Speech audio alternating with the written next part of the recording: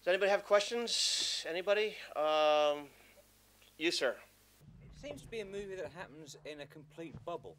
You know, it's not the real world. It's a kind of, uh, you know, a little romantic kind of story that you're telling.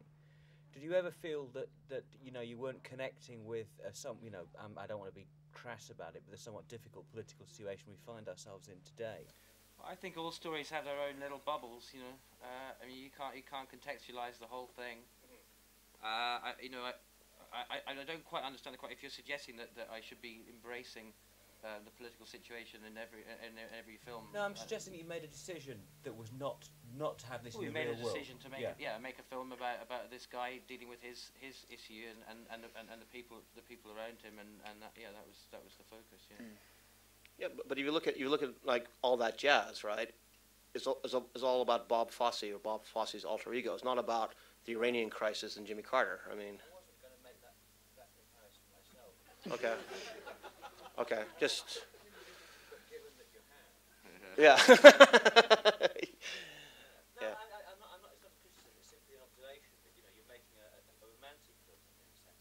I think it, I think that there's a there's a, certainly a romantic element to it yeah. You talked about putting the script up early, and as if enough people don't have comments about script, don't want to change things. And there have been pre-screenings.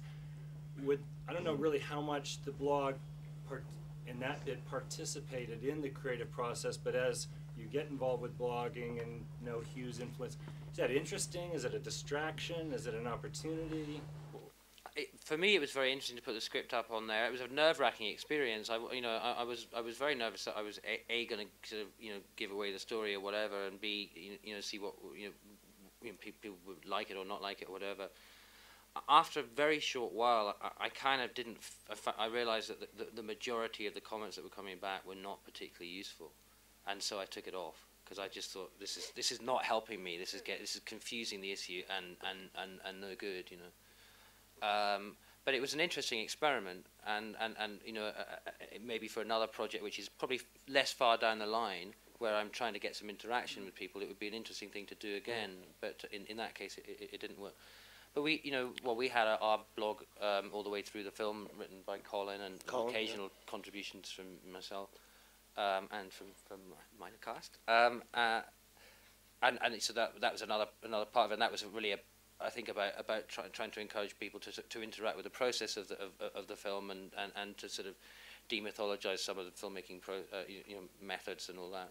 And that was that was that was a successful thing. And then the the, the blogger screen that we had when we before we were finished was also really nice because I was I was effectively trying to ask people to help us find an identity for the film because Yeah, I kind of you know it's it's it, the film's a lot of things and I kind of wanted people to help help me on that.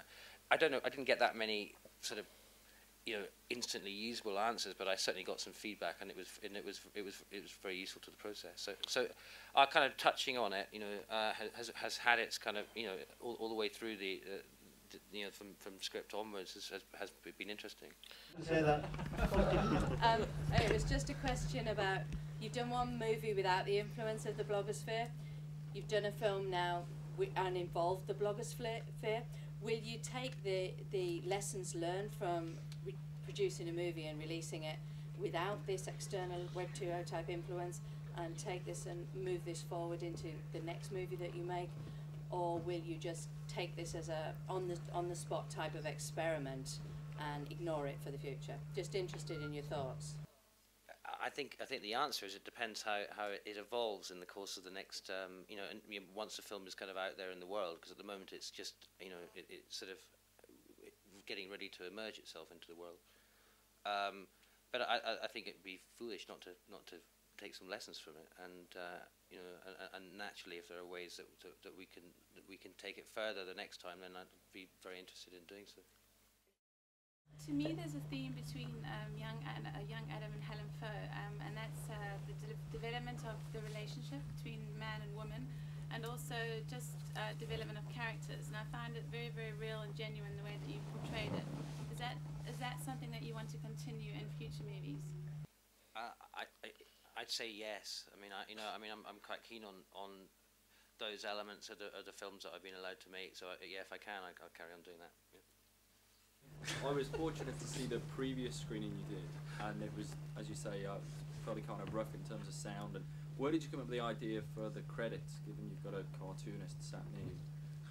Um, well, David Shrigley, who's the guy that designed the credits, is an artist based in Glasgow, and um, he's we worked with him before. He, he did a little poster for a short film many years ago, um, and we felt early on that we wanted to do something interesting with the credits, you know, um, and and it was it was sort of an idea that I, I shared with my editor um, Colin Monie, and we just thought we'd approach him, showed him a very early um, rough cut of the film, and he came up with this idea, you know, this Yeah. sort of theme of the bird flying the nest and all that. Which interestingly, when we showed Franz Ferdinand the band um, the, the film much later on, they they sort of came up, they took the same theme from it uh, in in their song. Um, uh, and Dave just, you know, he, he drew the storyboards, and, and we kind of went, great, we'll Cool. go for it. Um, Uh, this question's more about influences because I was sort of picking up on um, you know other films that have a an outsider on the fringes of British society, like say Kes or Little Voice or uh, Billy Liar, and it also came across as a bit of an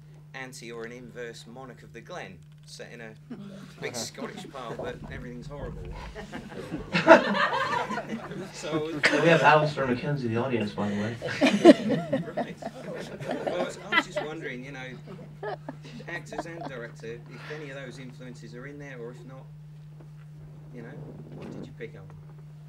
there are lots of unconscious, there are lots of Hitchcock influences, which are kind of, you know, you know sort of fairly obvious, and um, and and I, I was sort of, I guess my other influences were more like kind of the French New Wave films. You know, I wanted to do a film which uh, was a sort of, sort of slightly magical but realist movie. You know, mean, you know, be it in a bubble or not. You know, um, and uh, you know, and, and, and that was so, was, and and to, and to, to have some joy with the cinema as well. You know, and and, uh, and and and a little bit of magic in there. And there's a sort of, I guess, there's a kind of sort of mini kind of played down sort of fairy tale element to it. You know. Yeah. I thought that the, the film kind of captured the essence of Edinburgh as a city and its people brilliantly. I wonder how much of a challenge that was for the non-Scot stars and how they got to grips with the, that very sort of Scottish feel. Well, uh, we started uh, the oh shit. Um, we started up in uh, with Perthshire, right? So I mean, uh, for a start, I think that that worked better from just for me in terms of my character, just because um, that's obviously chronologically that's where the movie starts and, and I, I guess ends as well. So it, it it was interesting to be out there on location, just because. Uh, in terms of shooting, it's it's it's bizarre. There's some like crazy weather cycles that blow through there.